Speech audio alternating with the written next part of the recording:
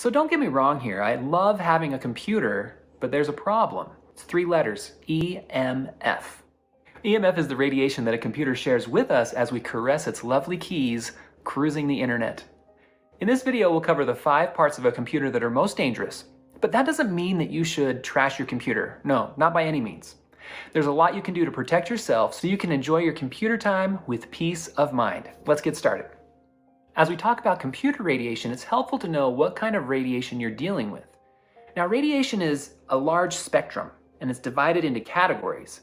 And we talk about computers, we're mostly dealing with RF, ELF, and EMI. RF radiation is radio frequency radiation, and it ranges from 100 kilohertz to 300 gigahertz. And that's your radio, cell phone, Wi-Fi, 5G, and 5G is way at that high end of the spectrum. ELF is extremely low frequency radiation, and that's from 0 to 3000 hertz, or 3 kilohertz. And that's basically your alternating current AC electricity, radiation that it gives off.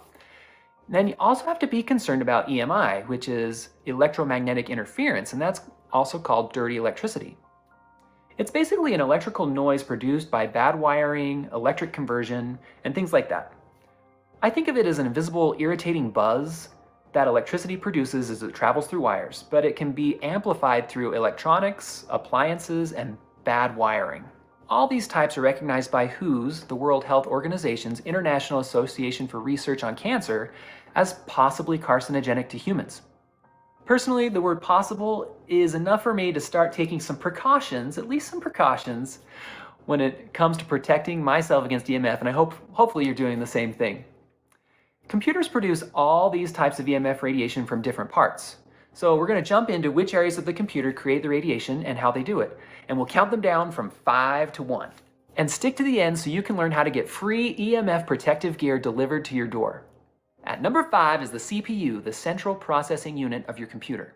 This is the heart of the computer itself, not the monitor or any of the other accessories like a mouse. The microchip CPU does not actively send out any type of signal, so the RF EMF radiation in generated is minimal when it comes to the CPU, but its power supply in the hard drive can be a substantial amount of ELF EMF radiation. Power supplies can be a problem for any electronic when it comes to EMF, because ELF and EMF radiation is produced by AC electricity, and especially when the AC current is converted to a DC current, which is what happens in most electronics like a computer. Appliances that have a motor typically use the AC current directly, like a refrigerator. This conversion from AC to DC current has a tendency to create ELF EMF during the process and EMI dirty electricity, and it's constant and ongoing over the entire time you have the device powered on. So here's a tip. When using a laptop, Use the battery rather than having it plugged in. The battery operates on DC current, so there's no conversion of electricity and thus less EMF. The hard drive only actively produces ELF EMF radiation when it's busy running, which is most of the time, and traditional spinning mechanical disk drives will produce more EMF than the newer solid state drives, the SSDs. Now SSDs are more expensive, but besides less EMF, they will use less battery power and typically have a longer shelf life. So it's definitely worth having an SSD in your computer. Number four, the monitor. Oh, you always want a bigger monitor, right? Just like a TV, your computer's monitor is another source of EMF radiation. This is especially true with older cathode ray monitors. Now, these are the awkwardly large, boxy monitors used heavily throughout the 90s. Modern flat screens are much less of a concern, but they still do produce some degree of EMF radiation. So I advise you to keep some distance between you and the screen, no matter what monitor you have.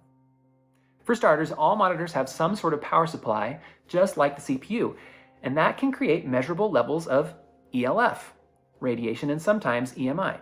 And the backlight of your monitor matters too. For example, an LCD monitor that uses fluorescent backlighting generates more EMF radiation than an LCD monitor with LED backlighting. Coming in at number three is your wireless accessories and peripherals. Gotta watch out for those ones. A wireless mouse, headset, keypad, and gaming controller are just so convenient. But on the flip side, they also produce EMF. In order for them to work, the wireless device must send a radio frequency, that's an RF signal, to a receiver on your computer. With some devices, this simply requires you to plug in a USB receiver into your computer, while others use built-in Bluetooth technology that comes with most computers nowadays.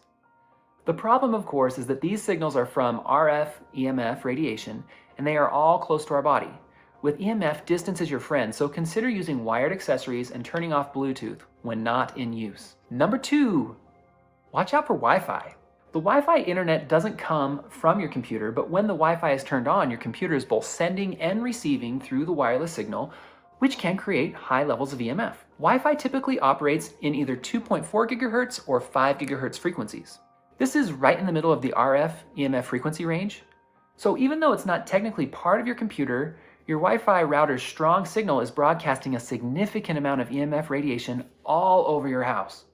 So it's much preferred to use wired internet rather than wireless. But there are things you can do to reduce your Wi-Fi exposure to much safer levels. More on that at the end of the video. And your number one hazard for the day? Laptops.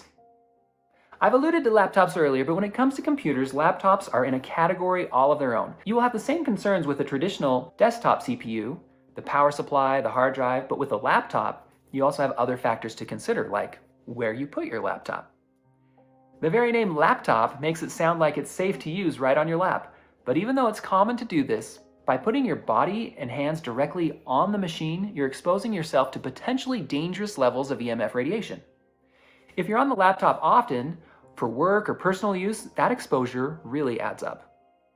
It's time to take your EMF levels down to much safer levels, and we'll talk more about that in my other video. Check the video description below, or maybe it's here on the screen somewhere.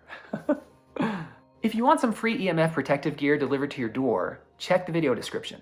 Besides free information here at EMF Safe Family, we give away free EMF protective gear to those who receive our email newsletters. Click on the link in the description, and every month you'll have a chance to win as long as you're subscribed. Take care and stay safe. We'll see you in the next EMF Safe Family video.